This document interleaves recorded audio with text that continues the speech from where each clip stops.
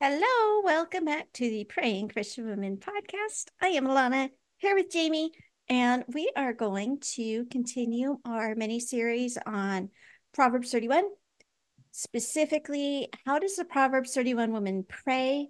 If you did not listen to our intro, I really would love for everyone to go and listen to that because there's some baggage with Proverbs 31, and I hope that we did an okay job um, demystifying this and and coming into our discussion with the grace that sometimes lacks when people talk about this Proverbs 31 wife.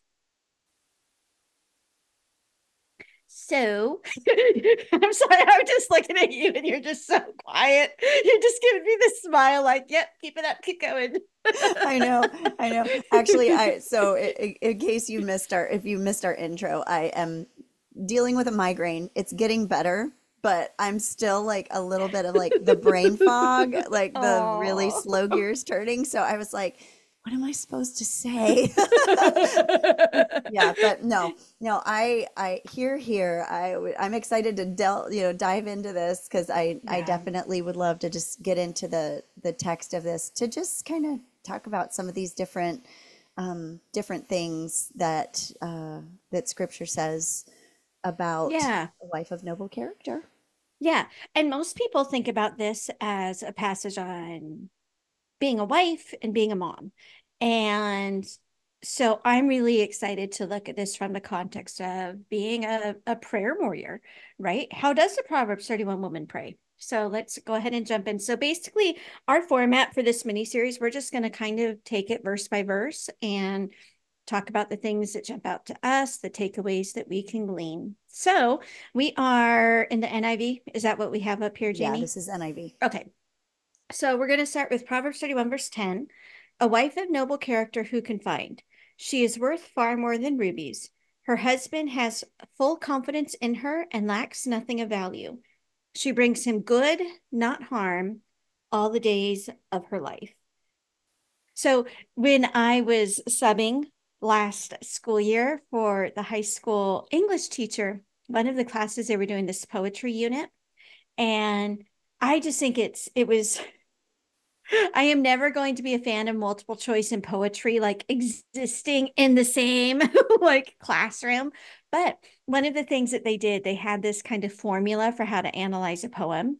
And and my first, I was like, you can't use a formula to analyze a poem. But we went through it and I actually liked it. One of the things that they did was kind of like one of the first things they did was how can you paraphrase this so um, i'm putting on my mrs terry sub hat for half a second jamie how how would you paraphrase this passage and and do you need a reminder of what paraphrase means i might with my current state of brain i'm sorry i was not trying to be condescending i was trying to be funny no i'm just kidding i actually might need the reminder no i'm good i can paraphrase um so when i read this I get this picture. I'm not going to give you a paraphrase. I'm going to give you the the the picture that comes into my head, okay. which is like the opposite of what this like basically when it talks about like she's worth far more than rubies her husband uh-huh. has full confidence lacks nothing of value she brings him good not harm all the days of her life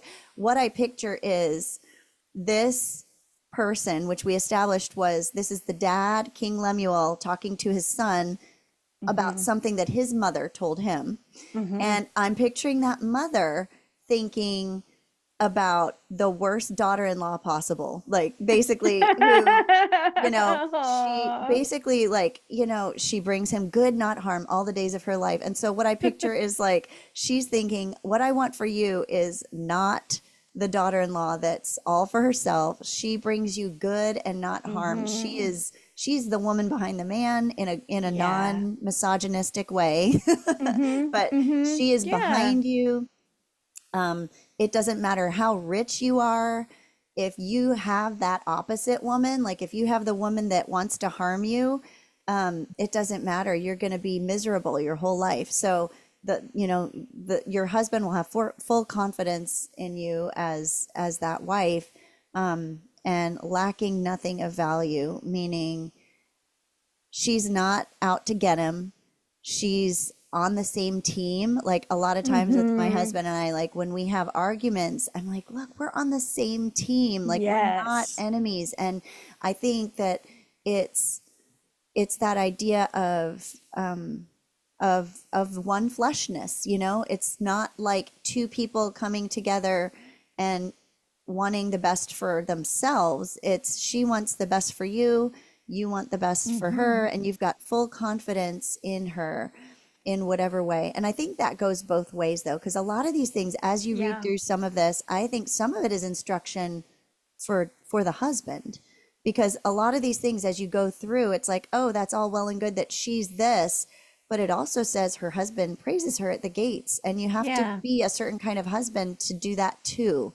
So here it's talking like yes your husband has full con he- the, the husband has full confidence in her and lacks nothing of value she brings him good not harm all the days of her life but um but you know that confidence i think is instilled in or it comes from her desire to be on the same team with him to support him Yeah. and yeah to be the opposite of the caricature evil daughter-in-law I love that. I don't know. I think the uh, the mother-in-law caricature is probably more prevalent. It probably is. I'm just, yeah, yeah, I'm sure that it is.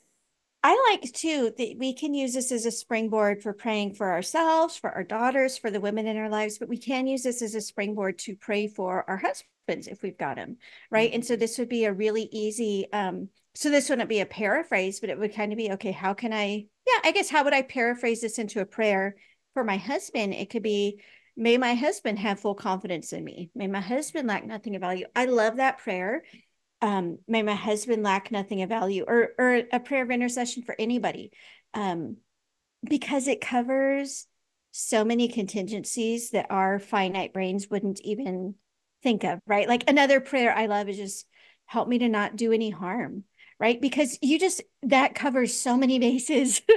And and in this one it was yeah help help me to lack nothing of value or help the hamptons to lack nothing of value or help my children to lack nothing of value.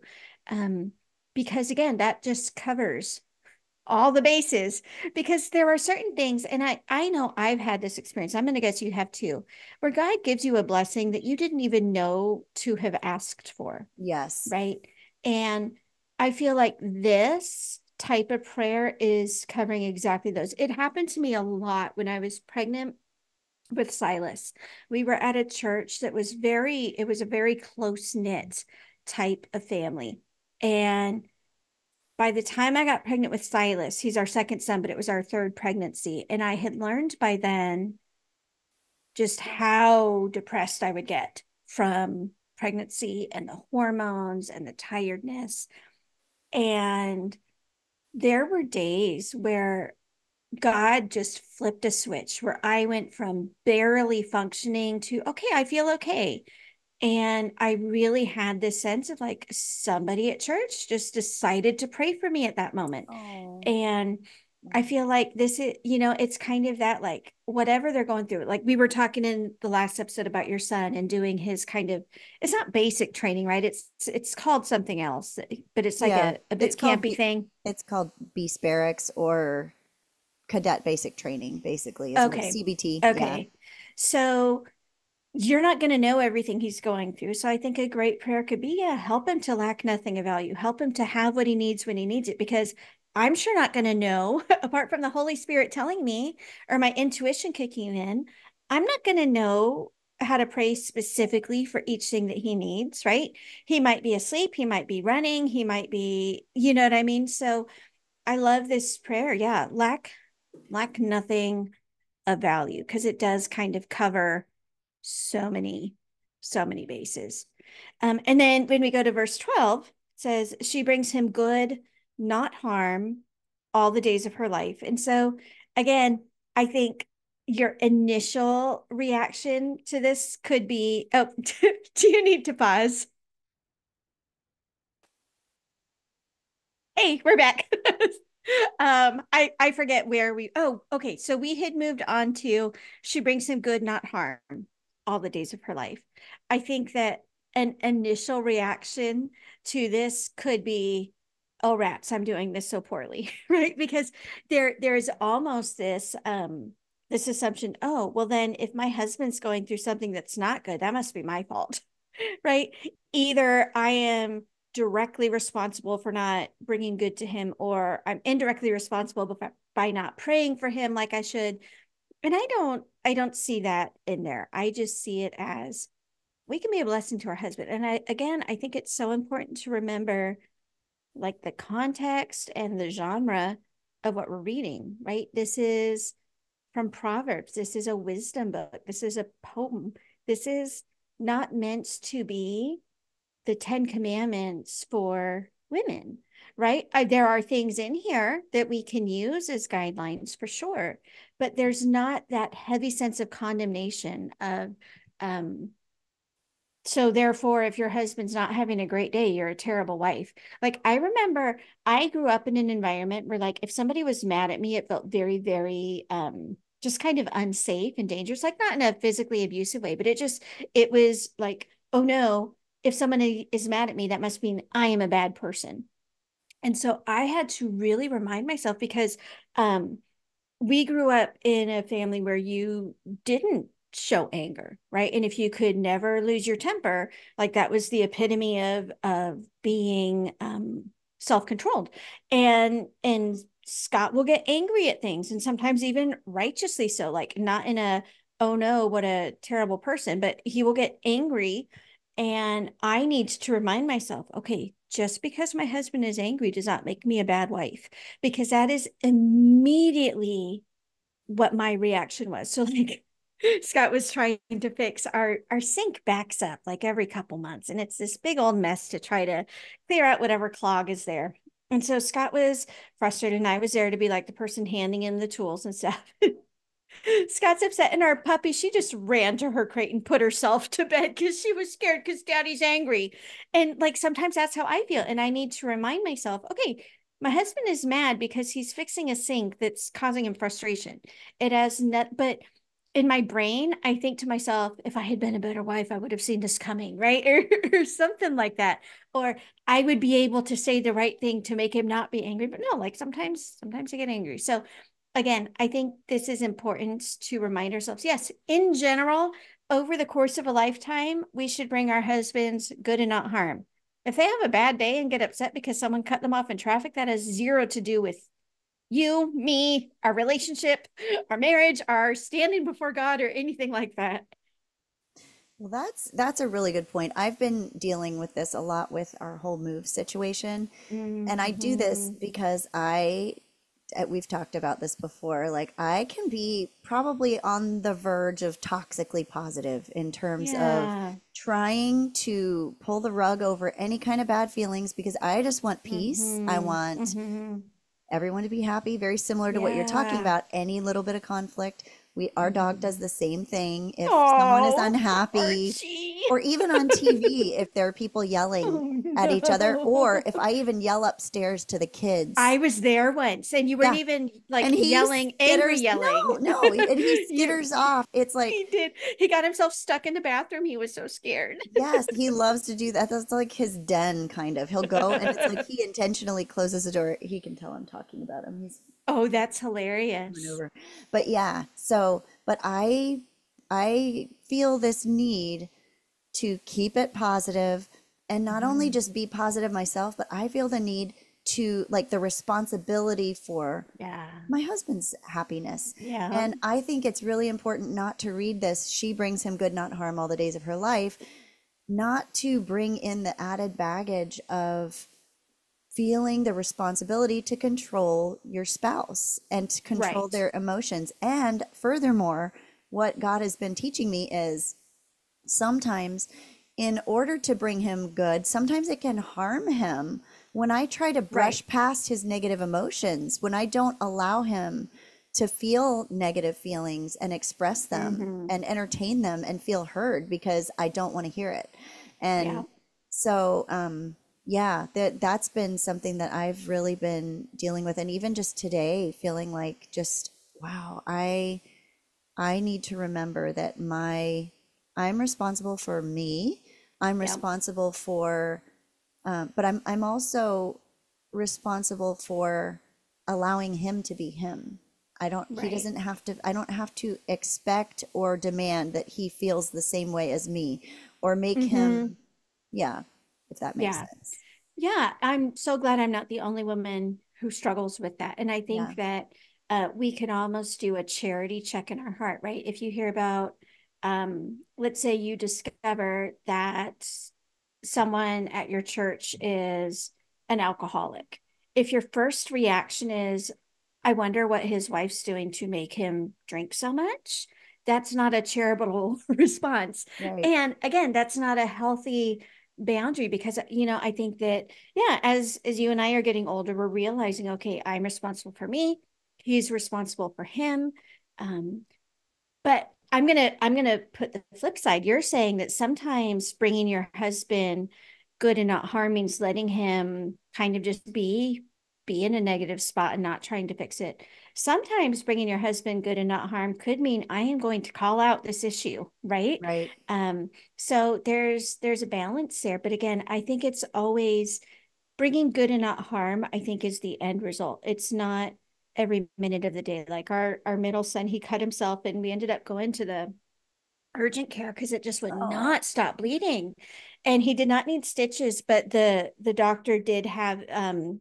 have him use the the debridement brush or whatever it is. You know what I'm talking about? Mhm. and um that hurts right like you can't deny that that is a painful experience to like go over and over an open wound with a like very fine yeah like it's it's icky but it's for his good Mhm. right so so sometimes bringing your husband good or or just in any relationship right like um i'm trying to think if you've ever called me out on something and and i think we're both just too too gentle to do that but but we could right? Like if if we really um if it was for that person's betterment i know what i did. I tell we'll cut this if you don't want me to share it but i kind of called you out because um basically it was like would would you want your daughter to grow up with this sort of Oh, right. mentality No, I and love being called out. I really do. And you've done that in a very kind and gentle way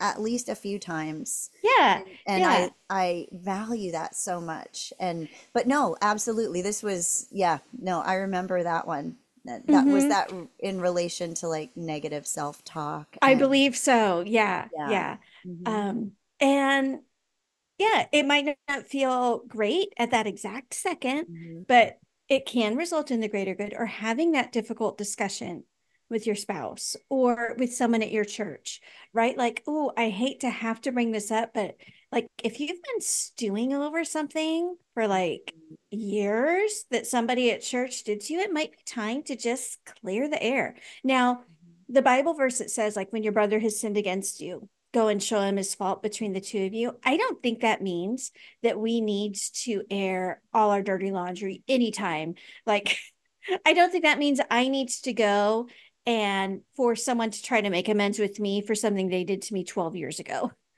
Right? I don't think that's what it's saying. Right. But Sometimes that can cause more yeah. than needs to be had.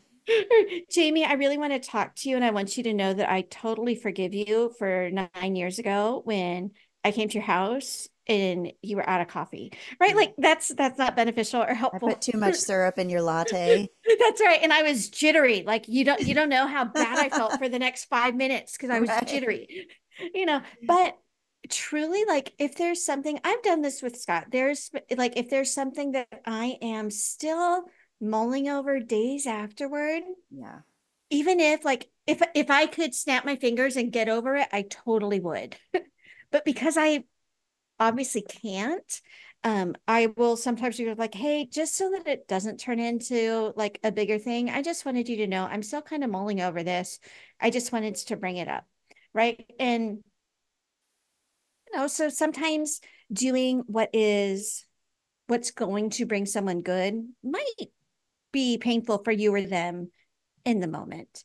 Um, and that's why tact and diligence and um, discernment about when the right time is, I think those are all really important. I think Esther's a great example of that. When she had to go and approach um, the Oh, king, yeah.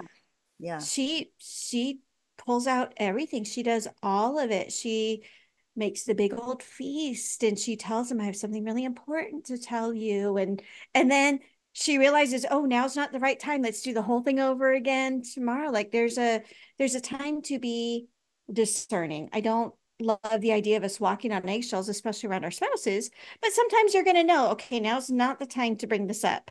Um, but maybe it is something that should get brought up at a later moment even if it feels unpleasant at the time. Yeah, and I can't think of the actual example of what happened, but I just remember more than once that I've had times where I've had a question about timing and I've prayed about it and God has given me the the signal. He's been like, okay, yeah and I've known like because I was sensitive to God's leading, hmm because I was yeah really praying for wisdom. Um, so I just think the whole bring him good, not harm the same action can bring good in one circumstance and harm in another circumstance. Oh, for sure. And so I think hmm that is why as as wives, if we're striving to be um, you know, striving to move in the direction of becoming more Christ-like and more, you know, more of noble character. um, hmm not to say the Proverbs 31 woman is Christ, but uh, but No, I get um what you're saying. yeah, but but as we're striving to to become better, I think that's why it's so important to be just always checking it, like having prayer be kind of that that backbone of of your relationship. So you can be checking in with yourself. You can be praying for hmm him and know you know, you can always pray, always like, you know, for instance, in a situation where there's something going on and you don't know whether to to take action or to talk about it, you can Yeah. always pray. Like that's always hmm okay and that's always good Yeah. is always at work. And at the same time, praying for this situation, but also show me what how can I bring good, not harm? Is it by being hmm quiet? Is it Right. by tactfully at the right moment bringing it up? Um, and what I have found is that I is that it might get brought up by the person that needs to talk about it. You know what I mean? Like your spouse might be the one to bring it up, and then it's like, oh, okay, I guess that's the open door. I guess this is the time. hmm Yeah. I think about that with witnessing too.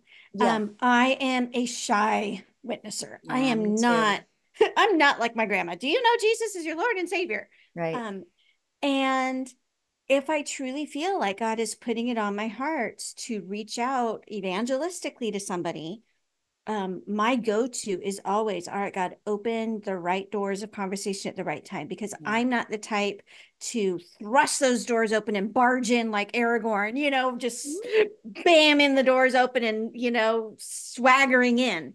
Um, and he does. Like he has never not answered that prayer. Yeah. Um, and yeah, so I love that. Um, a prayer for bringing good and not harm. One of the things that I love to do, and I definitely don't do this every night, but sometimes I go through kind of a um, a reflection of my day as kind of a prayer routine. And one of the things I like to do with that is like, who are some random people that I just like said hi to at the post office or do you know what I mean? Like what is a very brief encounter I had today?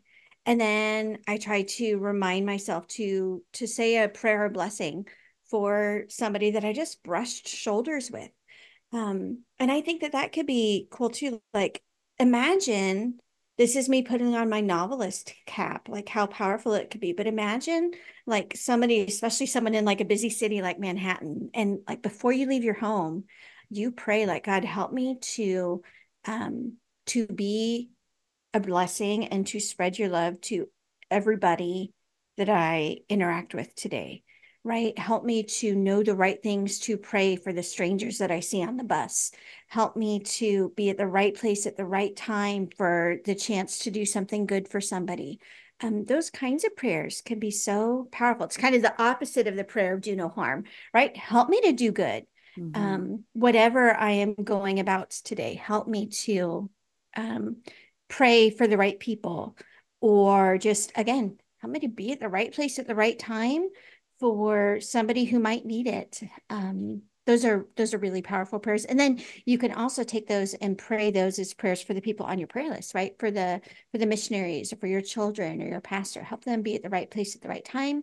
Help them to be doing good um, may the people they encounter be blessed because of the interactions they had with my child today that's a cool prayer right may this teacher be blessed because my son was in her class this year that's that's a pretty neat prayer to be praying for our families and our loved ones. Yeah, I love that. Um, so before we wrap up this section, I, I want to chat too about her husband has full confidence in her. So we've talked a lot about the lacking nothing of value.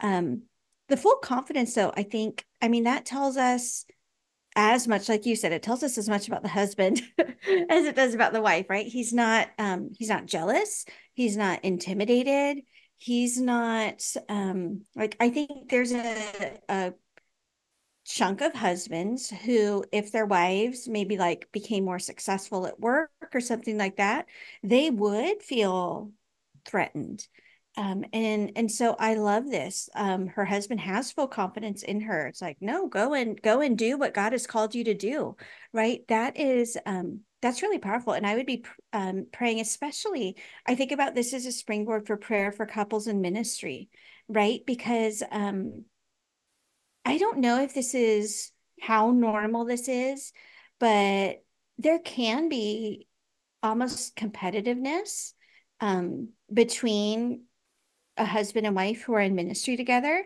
It can be like, well, I um I witnessed to this many people and you you only did that many. Or you know like God's really using me in this person's life. What is he doing with you lately? And and there's no place for that right we need to be celebrating just like I mean between you and me it's not like oh Jamie got you know two Facebook notices from a from a listener asking for prayer and I only got one. You know like why is she why is she doubly blessed? Like we're not keeping track but um sadly it can happen you know and like we've been in ministry together we've done um, missions training together and like it it can become a thing. And yeah when you're when your husband has full confidence in you he is going to celebrate when you are successful in ministry or in work and it, it's not going to be like okay you can have this success just don't ever get more successful than I am. Don't make me feel threatened, you know? And and sadly, mm-hmm. and I don't think many people do it deliberately, but I do feel like that is a subconscious. I get I get this from um from our church sometimes. Sure, go ahead and even though you're a woman, we'll we'll let you pray out loud. Just don't be over spiritual, right? Like don't don't make people feel threatened Mm-hmm. and and that's not how it should be right we we're not supposed to quench the spirit um so when you are in a trusting relationship whether it's with a spouse or a ministry partner or a church body where people are celebrating um, that's a great thing too. So yeah for for couples who are in ministry together i think a great prayer for them would be just a prayer against that um, just that weird competitive dynamic or you know if god's using her more than him does that you know like is that okay?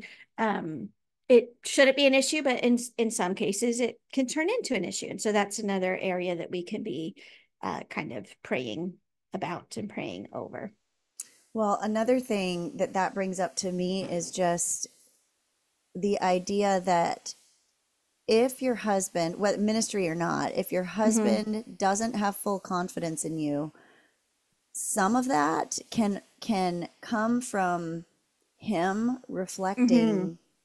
your what you're projecting and mm-hmm. we've taught you know like for me not to put the blame all on the the woman but what i mm-hmm. have found is when i am timid or not confident or don't believe that i deserve respect or confidence mm-hmm. from anyone, not just my husband, but from anyone, if I'm projecting that timid spirit and I don't have confidence in myself, it can result in a less than ideal response. And it's really mm-hmm. funny how that works and how the way you speak about yourself, the way you speak about your yeah. ministry or your job or like and like we talked about self-deprecation and just kind mm-hmm. of like mm-hmm. I say things about myself that tear myself down and well yeah then other people are going to kind of see you that way if Yeah. if that's what you're speaking about yourself and even if you don't speak it and you have this extreme negative self-talk in your Mhm. Mind you better believe it's coming across and so i'm not saying that i've Mhm. overcome it but what i do see is that when i am less confident in myself and what i'm doing others have less confidence in my in me and what i'm doing Yeah. and so not to say that there aren't people that are just going to be haters no matter what and you shouldn't you Mhm. know Right, but and right. so i'm not saying it's it's a it's a one to one Yeah. ratio but what i'm Yeah. saying is in general um two kinds of prayers are let's pray that we have no competition that we have the other person you know in either in your relationship or whatever partnership you have just let's have that other person yes god work in them help them not to have competition but also help me to to feel confident where do i need to have full confidence in myself so that i can Yeah. receive that confidence from others as well Mm-hmm. Is that too harsh or does that come across as being blamey No, Okay. no. Um, and I would say the flip side of that though is like I think I'm I'm an example almost of the opposite where um like you're almost talking about a woman who's insecure and so therefore like her husband doesn't have as much confidence in her, which Mhm. can happen, right? He's going Right. to pick up um pick up those in my keys. case, it was almost, it wasn't exactly the opposite, but it, it's kind of like a complete 180. I was very insecure, and my husband's kind of support and encouragement gave me the courage to step out. Like there were, Mhm. um, there was one like day I remember where I was totally ready to be done writing. This was like over 10 years ago. And it was his encouragement and his support and like, nope, I believe in you. I believe that this is going to become a thing this is going to be your calling and your ministry um, so for me it it had to come from him first i think That so is very cool because then that is another another side of it of Yeah. like yeah. And for us to be that person behind our spouse that believes in them and and to reciprocate like let's have full confidence even when they don't and Mhm. make sure that we're, it Yeah. starts with us. absolutely yeah Absolutely. Exactly because kind of what you were saying there's there's so much that happens subconsciously that is so powerful right Mhm. and this it this applies to everything not just a marriage if your son was applying to all these military academies and in your brain you knew he was never going to get in even if you never said that to him he could have picked up on that Right. right? It was your faith in him, the faith that said, No, I think you can do this. Let's go ahead and fill out these applications. That is what got him into West Point, I which I is pretty much am single-handedly responsible for him getting in. That's So what you're saying. congratulations. That's what you're It- saying. Honestly, more so than I think you're giving yourself credit for. if you hadn't believed it was possible, Right. um, kind of like when Silas was a baby, we would not speak about like his limitations, Right. not to where we were in denial. Um, we would say things like, I think this kid has pneumonia, let's take him to the hospital. But we would not say this kid is never going to grow up to live independently. This kid is never going to um, be able to walk or talk, and he can do all of those things. Um, because that that power of words and the power of your subconscious the power of your thinking it does influence. It's not like this big mystical thing. If if i was convinced that um, silas who had brain damage from birth was was going to be vegetative for his entire life not to give myself a ton of credit i just think this is the way god created the universe i think it would have been a vegetable. I truly do. Um, to the point where i don't think he would have survived. I think he needed a mother who believed in him and who refused to put any limitations on him. And so, like, as parents, we can do that. Um, you told your son, you can get into this academy, and I'm going to help you through all the paperwork to do it. And now he's just a couple weeks away from going. Um, there, there is a huge power just in the faith that we have in our children, in our spouses. If you believe your spouse is going to be like terrible at whatever job he does, chances are that's somehow going to bleed into his work performance in different ways, right? Even if you never say a bad word about it, like there's so much that we communicate through our body language and things like that. Um, so yeah, I know in my case for sure that like I am an author because Scott like had full confidence that I could. and that, that was huge. So cool. Right. And so we can we can be that encouragement to our children, our spouses, our friends, our churches. Um, so yeah, I think that could be another part to ask God, like, help me to find, help me to be the encouragement that people need, right? Help me to be mm-hmm. that Scott to that Alana on the day that she needs to know not to give up on her dreams to be a writer. Oh, I love that or help me to know to be um, that kind of mom who will help her son get into something like West Point, which for people who aren't familiar, like it's a huge ordeal. Um, it's a big honor. You need like congressional interviews. Like it is, it is a big, big thing um, to even apply and then to get in. So I would say like dream big dreams for your children, for your spouse, for your loved ones, for your church. And the faith that you have in their abilities is going to influence um, their the outcome right? Just like we've we've done it for our kids. Um, scott did it for me. I think there is so much power that comes just when you when you have faith in something of course there's the direct i have faith that this that my son can um, overcome his medical issue so i'm going to pray that he will. Like that's one side of faith but there's also the faith that says i have faith that my son is going to overcome his medical issue so i'm not going to treat him like a future invalid. And and so he is going to live up to the potential that that i have for him which silas has. Um yeah so those are all the takeaways i can think of. Do you want to add anything else no, I love that. And I love the fact that, you know, all of these things are not just applicable to a husband and wife relationship. Exactly. It's, it's lifelong. Mm-hmm. Yeah, it's it's it's lifelong. And that each of these things is specific not only to each person and unique the way that we interpret them to each person, but even to each circumstance that we find ourselves in. Yeah. And you know it goes back to the word of god being living and active. And so i love that. Yeah. Do you have not to put you on the spot because i know how much you love that. Do you have any stories? Like i'll tell you one of my stories so you can think about one of yours. Just like mm-hmm. something someone said to you decades ago that has stayed with you as um as encouragement. So for example, I did voice lessons for like a year in high school. I was on a music track for for a, a little bit before I got um got more into the science side of things. And um basically like the cost and my schedule and perhaps my innate ability all contributed to me not doing voice lessons like not continuing on. And at my very last lesson, my teacher told me, she's like, I just want you to know that you can sing. And now like okay so then then i like okay i can sing. And then i had like years where like my, i would get super super hoarse. I didn't sing at all. Now i'm trying to get my voice back in shape because i'm leading music at our church.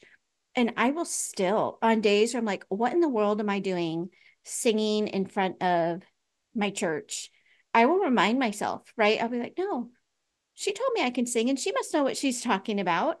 Um, so like I I hold on to that. Do you have any stories like that?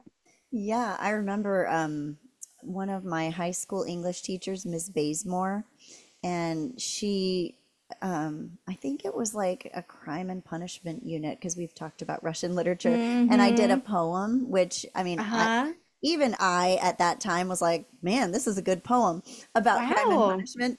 And um uh-huh.